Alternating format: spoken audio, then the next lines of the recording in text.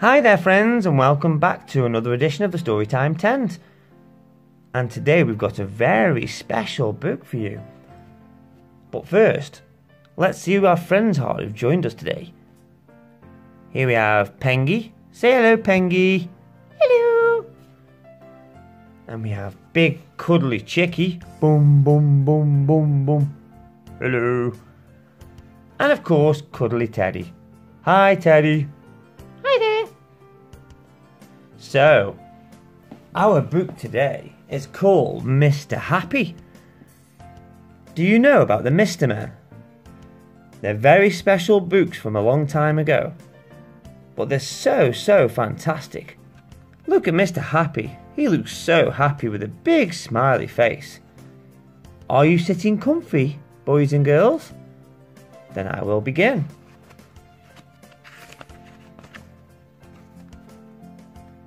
On the other side of the world, where the sun shines, hotter than here, and where the trees are a hundred feet tall, there is a country called Happy Land.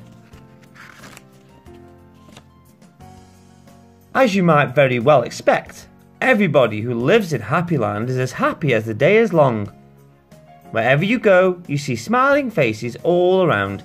It's such a happy place that even the flowers seem to smile in Happy Land. And they do. And as well as all the people being happy, all the animals are happy in Happy Land too. If you've never seen a mouse smile, or a cat, or a dog, or even a worm, go to Happy Land. Wow, look at the worm smiling. This is a story about someone who lived there who happened to be called Mr. Happy. Mr. Happy was fat and round and happy. He lived in a small cottage beside a lake at the foot of a mountain and close to a wood in Happy Land. One day, while Mr. Happy was out walking through the tall trees in those woods near his home, he came across something which was really rather extraordinary. There, in the trunk of one of the very tall trees, was a door.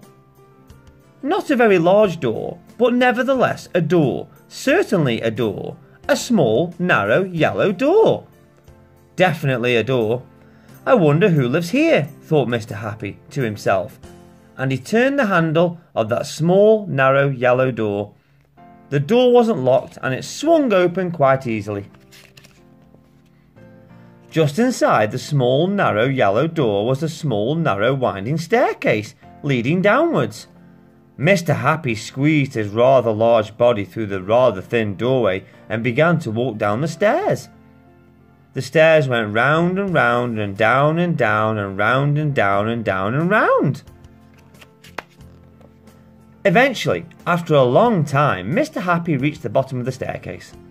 He looked around and saw there in front of him another small, narrow door, but this one was red. Can you see the red door? Mr. Happy knocked at the door. Who's there? said a voice.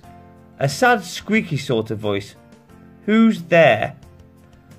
Mr. Happy pushed open the red door slowly, and there, sitting on a stool, was somebody who looked exactly like Mr. Happy, except that he didn't look happy at all.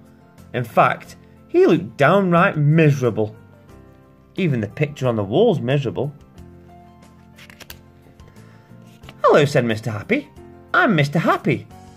Oh, are you indeed? sniffed the person who looked like Mr. Happy but wasn't. Well, my name is Mr. Miserable, and I'm the most miserable person in the world. Why are you miserable? asked Mr. Happy. Because I am, replied Mr. Miserable. How would you like to be happy like me? asked Mr. Happy. I'd give anything to be happy, said Mr. Miserable. But I'm so miserable, I don't think I could ever be happy, he added miserably. Mr. Happy made up his mind quickly. Follow me, he said. Where to? asked Mr. Miserable.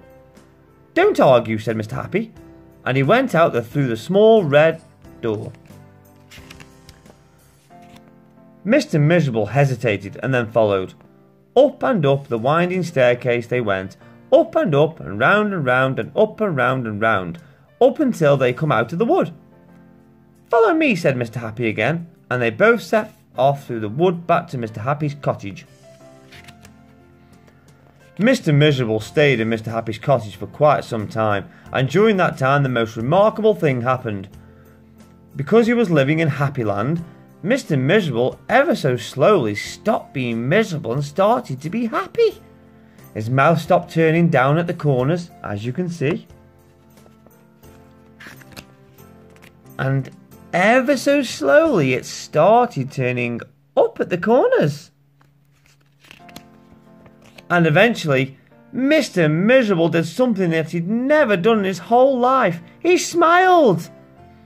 And then he chuckled, which turned into a giggle, which became a laugh. A big, booming, hearty, huge, giant, large, enormous laugh. And Mr. Happy was so surprised that he started to laugh as well, and both of them laughed and laughed. They laughed until their sides hurt and their eyes watered. Mr. Miserable and Mr. Happy laughed and laughed and laughed and laughed. They went outside and still they laughed.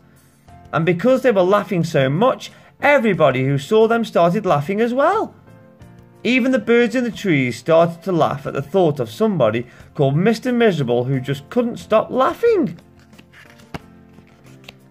And that's really the end of the story, except to say that if you ever feel as miserable as Mr. Miserable used to, you know exactly what to do, don't you? Just turn your mouth up at the corners. Go on then, try it. Turn your mouth up at the corners and smile. There we go, boys and girls. It's much nicer to be happy and smile, so go on, give it a try. Smile and laugh. And thank you for watching. Don't forget to subscribe. Have a wonderful, lovely, lovely, lovely, lovely, laughy, happy day. Bye bye.